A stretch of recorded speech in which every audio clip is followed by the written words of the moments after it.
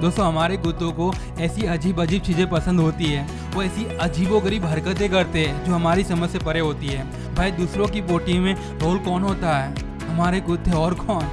खैर, भले हो कुछ भी करे, पर वो हमारे चेहरे पर स्माइल ज़रूर लाते हैं। तो आज हम इस वीडियो में हमारे कुत्तों की ऐसी अजीबो गरीब हरकतों के बारे में बात करेंगे और उसे समझने की कोशिश करेंगे कि वो ऐसा क्यों करते हैं।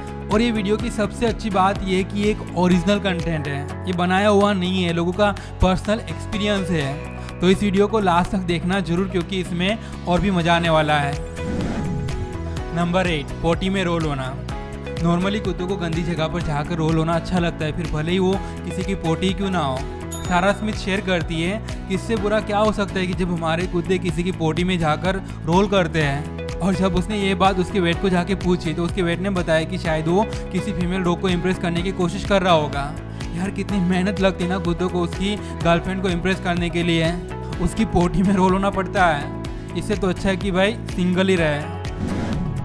नंबर सेवन पीनट बटर जैसे हमें पीनट बटर अच्छा लगता है, वैसे कुत्तों को भी लगता है, क्योंकि पीनट बटर टेस्टी होता है। अब कुत्तों को पीनट बटर कितना पसंद है, उसका ये प्रूफ है। अनिता कुमारी शेयर करती है कि वो उसके डार्कसून डॉग को मेडिसिन खिलाने के लिए उसके ऊपर पीनट बटर लगा देती है। और उसका डार्कसून डॉग ऊपर ऊपर से पीनट बटर छाट जाता है और मेडिसिन वैसे छोड़ देता है। नंबर सिक्स मक्खिया। अब कुत्तों को मक्खियों में से कोई न्यूट्रिशन नहीं मिलता है, और उसे पकड़कर मारना और उसे खाना उसका एक शौक होता है। संदीप शर्मा शेयर करते हैं कि उसका डॉग या तो मक्खियों के साथ खेल रहा होता है या फिर उसका फ्लेवर ले रहा होता है। और कभी कभी वो क्या करता है कि आधी मरी हुई मक्खियाँ उसके पास लाकर उसकी एक लाइन करता है, जैसे कि वो दिखा रहा हो कि, डेड, मक्खियाँ ऐसे पकड़ते हैं। Number five music as per science कुत्तों को म्यूज़िक अच्छा लगता है नॉर्मली क्लासिकल और रिलैक्सिंग वाला। स्वामी सुद बताती है कि एक बार जब वो गाना गा रही थी, लकड़ी की काठी काठी पे घोड़ा, और उस टाइम पे उसकी डॉग एंजल खेल रही थी, और जैसे उसने गाना सुना तो तुरंत ही उसके पास आकर वो गाना सुनने लगी। और थोड़ी देर के बाद वो वहीं सो गई। अब जब भी उसे अपनी डॉग एंजल को सुलाना होता है, तब वो यही गाना गाती है, लकड़ी की काठी काठी पे घोड़ा, और उसकी डॉग एंजल सो जाती है। नंबर फोर टीवी देखना। एज पर साइंस हमारे कुत्ते टीवी के पिक्चर्स को क्लियरली देख नहीं पाते हैं, पर उसे टीवी का साउंड और टीवी की लाइट अच्छी लगती है। अब अगर हम लोगों की बात माने तो कुत्तों के फेवरेट शोज़ भी होते हैं। एलिजाबेथ मेयर जो कि एक डॉग ट्रेनर है, वो बताती है कि उसके डॉग को टीवी में सिर्फ़ फुटबॉल ही देखना पसंद है। तो हमेशा फुटबॉल देखता रहता है। बाकी कोई चीज़ में उसे इंटरेस्ट नहीं आता है। और ऐसे ही एक और भी यूज़र ने इंटरनेट पर शेयर किया है कि उसके डॉग को सिर्फ़ एलिफेंट की डॉक्यूमेंट्री पसंद आती है।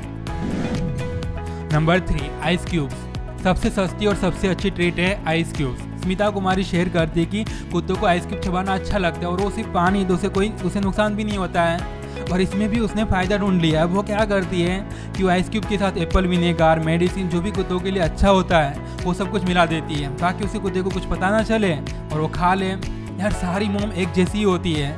हर चीज़ में फ़ायदा ढूंढ ही लेती है। नंबर टू लकड़ी की स्टेक कुत्तों को लकड़ी की स्टिक अच्छी लगती है क्योंकि वो उसे बोन की तरह चबा सकते हैं।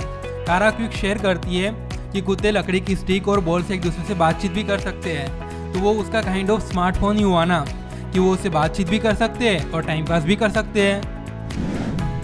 अब finally number one shiny objects अगर आपने नोटिस किया होगा तो बहुत सारे कुत्तों को शाइनी ऑब्जेक्ट से एक अलग ही लेवल का लगाव होता है। शाइनी ऑब्जेक्ट जैसे कि हमारा फ़ोन है, हमारी ज्वेलरी के आइटम्स हैं। और बहुत सारे कुत्ते क्या करते हैं कि कभी कभी वो अपने मालिक के फ़ोन को कहीं जाके छिपा देते हैं या फिर मुँह में उठाकर भागने लगते हैं और उसके मालिक को उसके पीछे पीछे भागना पड़ता है।